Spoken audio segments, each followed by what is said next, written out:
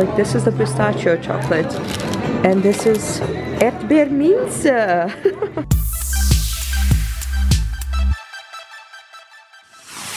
Good morning, we are at Schiphol Airport and on our way to Baden-Württemberg, aka Germany.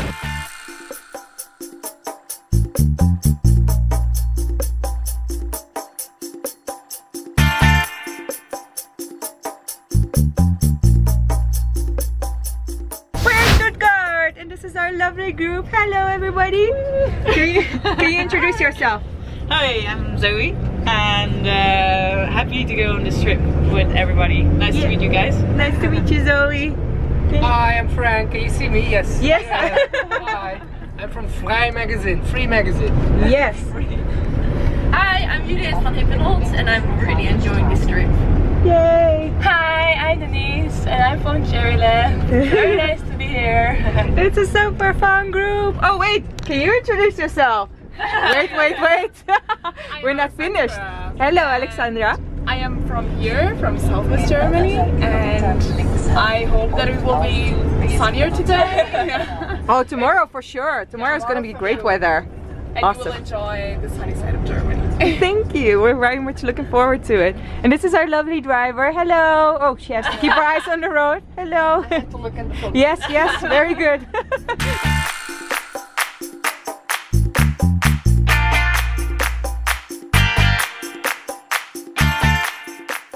we have arrived at Hotel Hermann Gasthof.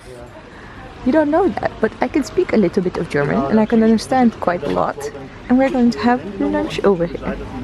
Bring on the German food. And this is our table. Yo dude, I wish I could let you smell the scent in this place because it smells so freaking delicious. So this is carrot coconut soup. Very good. This is going to be the main dish, a very very traditional dish for this region, Baden-Württemberg. Alexandra, explain to us why it's special. The story is that um, during the period where you cannot eat meat, fasting, yeah, um, the monks uh, yeah. wanted to eat meat, you know, so they hide meat in those big, big Maultaschen. Yeah. Said, yeah, it's just vegetables, and then. Oh, they hid meat in here. Oh wow, the sneaks. This is the vegetarian version. So. Mm -hmm. Mm. Very tasty. I have to tell you something very special because this hotel doesn't only have like really really good food but like 90% of their uh, food is from this region. They only cook seasonal. They only get meat from this region, Baden-Württemberg.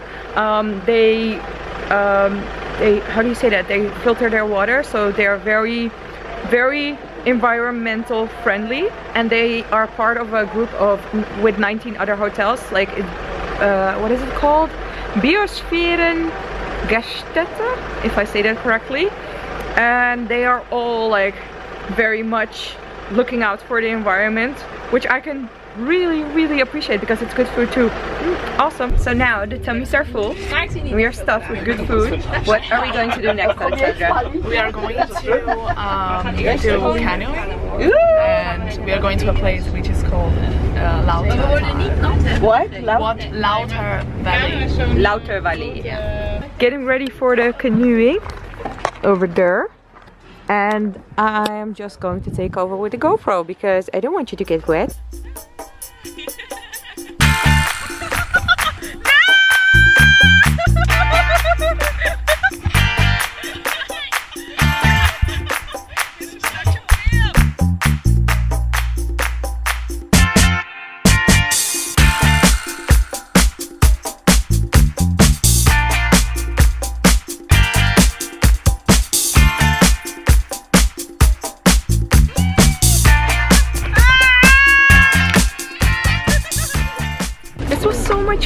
and above all it was very very relaxing.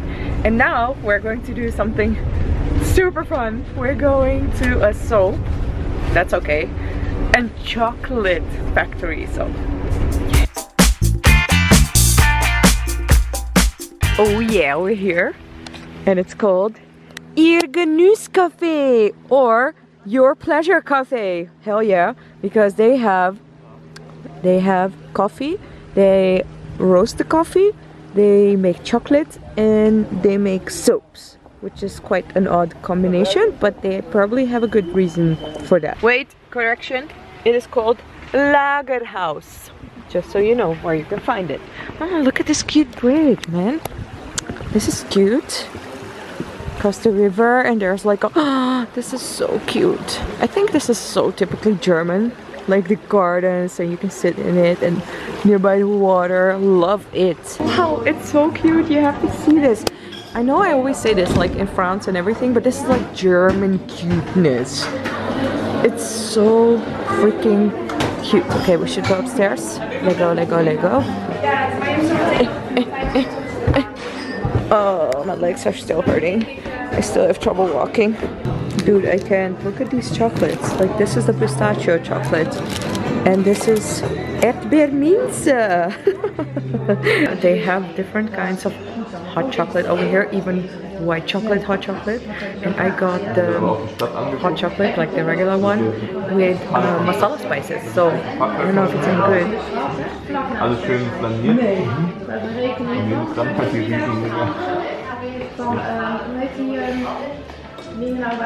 It's a very, very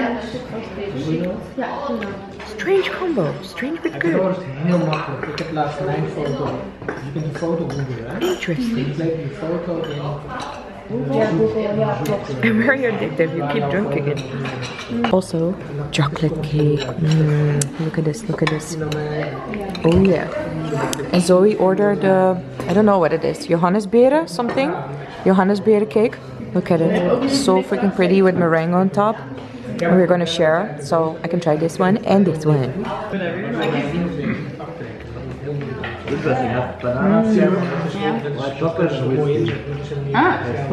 Mm. Very moist chocolate cake. It's not dry at all. And now I'm gonna try this one. So this is the one with Johannesbeeren or berries. And it has nuts, hazelnuts, and uh, you see the meringue on top. Mm. Mm.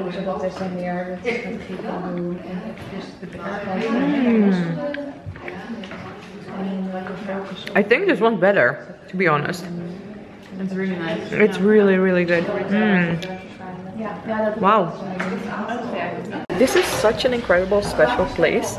The owner uh, was just telling us that um, all the cakes that they bake here are made with spelt flour instead of the traditional wheat flour because spelt flour is the original uh, local um, product. And even though it would be economically smarter aka cheaper to use wheat they're like no we want to use the local product. And also they do everything organic and they're so passionate about what they do. They they do things because they love it. Like they started out making the soaps. So here comes the soap chocolate connection. And then the owner was like but i like chocolate too. Why should we make chocolate? And they started making chocolate. I say this about almost every place i visit like it's so cute but like french cute is different and german cute is also very very different. And this is so freaking german cute love it this is the owner and his wife and this is where they make the soaps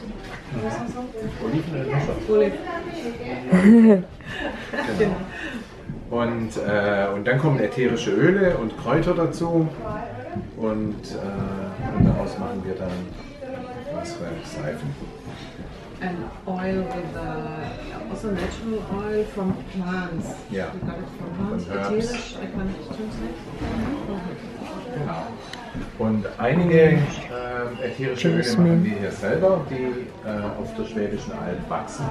Also da arbeiten wir mit Kräuteranbauern zusammen. So we get herbs from local farmers also, and we get the smell out of it in uh, oil also, so we can also put that in our soaps.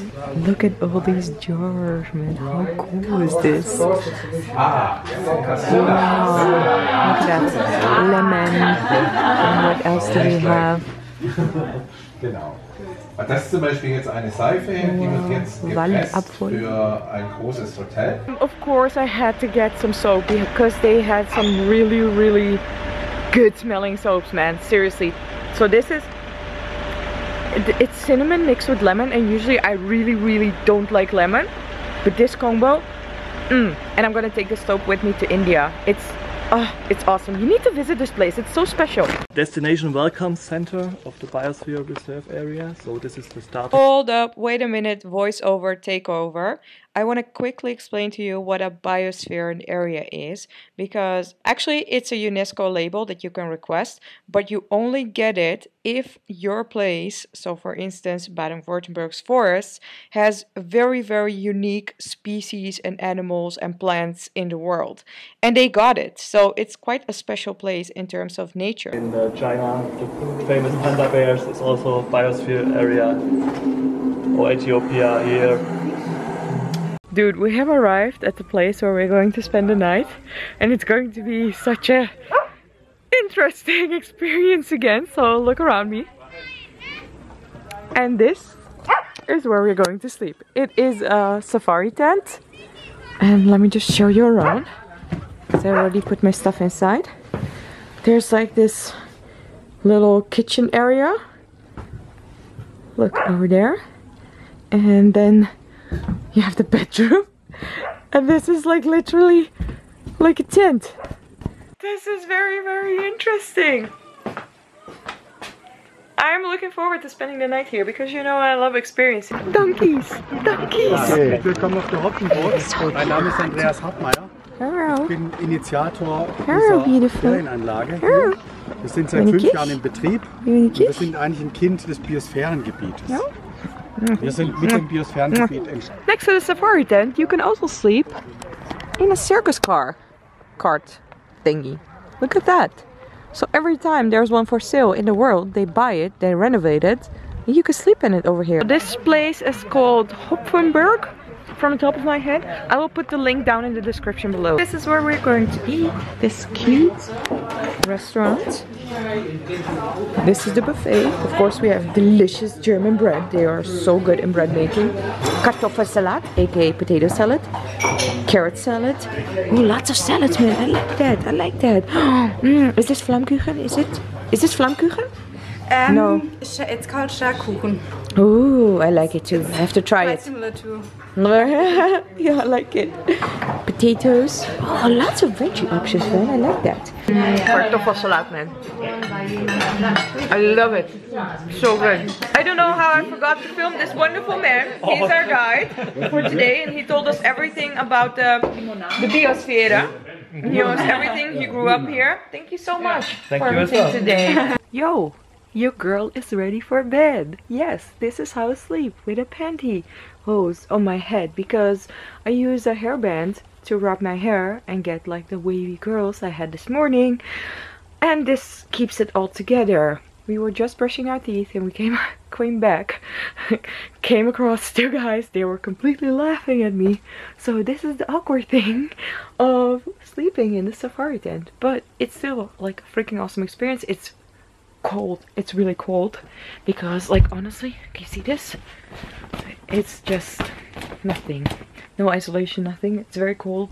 And um I have like two blankets like this, which should be alright, and I'm wearing a t-shirt underneath. The only thing I'm not looking forward to is this.